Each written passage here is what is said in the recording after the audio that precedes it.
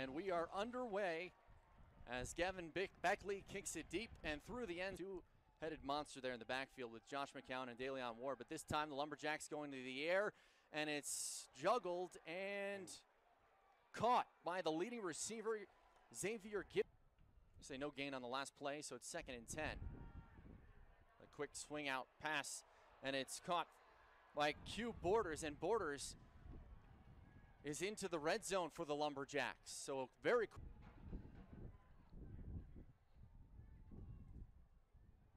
Another quick pass to the outside, and it's caught by Reichel, and Reichel is in for the touchdown, and just like that, he slides safely after the score. But Lawton Reichel scores the opening touchdown of the season for the Lumberjacks, and just like that, it's 6 0 for Stephen F. Austin. Uh, I don't know if that was three or four plays in a row by Stephen F. Austin when they lined up there straight in for a touchdown. Great play.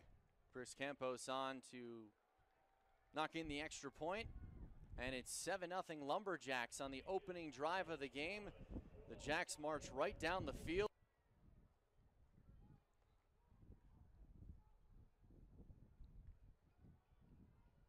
Hardison with plenty of time, now flushed out, throws on the run, and the pass is complete to the outside. It is Jacob Cowing with his. That brings up a third and six. Cooper, the motion man at the top.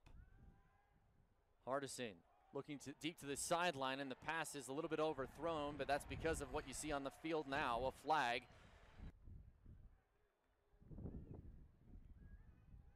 Play action. A wide open receiver is Cowing, and Cowing cuts inside. And they're able to figure this one out. Hardison to pass on third and goal, going to the corner, and the pass is incomplete over. It was an all conference USA honorable mention kicker a year ago. And punches this one through from 20 for the Miners this year, switching to the 4 3 defense. As Self lobs one over the middle, and it's caught on the deflection. Enough for the first. I think it looked malicious, but it doesn't need to be malicious in order for it to be called targeting as Self has trouble with the snap and just throws it into the ground. It's picked up by the Miners. They're calling it a fumble right now, but it did look like Self threw that into the ground. It could like you said, play to the to the sound of the whistle. Third and 10, the crowd the loudest it's been tonight. Quick pass out is caught and reaching near the goal line, just short it looks like Jeremiah Miller the tackle to keep the Jacks out of the end zone for now, but first in goal from the one. And the handoff goes to Ward, and Ward is in easily for the touchdown. Touchdown, Lumberjacks. And Stephen F. Austin makes it 13 to 3. as his first of 2020 here in the second quarter of game one. And back on for the extra point is Chris Campos, and Campos is perfect to make it 14 to 3. Going towards his target, I think he would have completed that pass.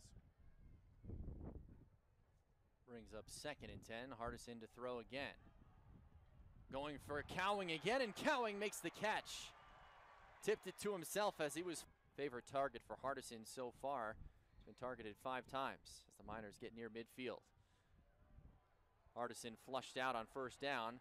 Goes to his running back, Josh Fields, who makes the catch and has enough for another Miners first down as the Miners get back. They've got a guy up pressured to not give away that easy pass like they did last time. Hardison initially looks to the left and said comes back to his slot receiver, Don, who takes a big hit, but he's a front that struggled a year ago. But holding the Miners running backs to just 27 yards so far. Now Hardison will scram scramble his way out of bounds across the 10 yards. Build them some confidence here before halftime. Gavin Baechle on for the extra point. And the kick just sneaks inside. Four point lead, just try and run this clock out. Throw it out to the outside, and the ball is loose on the ground, and it's scooped up by Justin Prince. And Prince has some room down the sideline and tackled just inside the five yard line. A huge play. Now 30 seconds left. It's been almost 30 seconds since they ran their last play. And they snap it here. Again to Wadley and or to Hankins, and Hankins breaks the tackle and gets in for the touchdown. Touchdown! The form of a touchdown run that gives the Miners the lead, and Baechle's kick is perfect this time. So with 20 seconds to play in the first half, all of a sudden. UTEP going from down seconds left to 14. So as long as his next reception is a positive one, he'll eclipse the 100-yard mark. But back to the ground, and another tough run from Hankins, just bowling over defenders across the 30-yard line. I said it back, kicking and punt returning game. Now third down, Hardison facing pressure, runs into it, runs out of it, gets the ball off, and it is picked off. Tabo Hendricks oh, and got the first down, trying to pick up another first here. They'll keep it on the ground with McGowan. He breaks the first tackle and now gets into the open field, down the sideline and pushed out of bounds just shy of I think this goes to show what I spoke on earlier is the fact that if he can get through that first line of defense and break a tackle, he was able to be able to get out and get some space and run. And this time on third and short, this was a great play for him to break out and get down to the pickup of eight, second and two.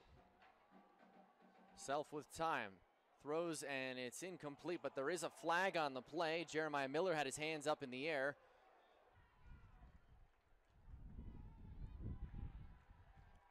Self looking to the corner, and the pass is underthrown and intercepted. Duron Lowe with the huge turnover for the Miners.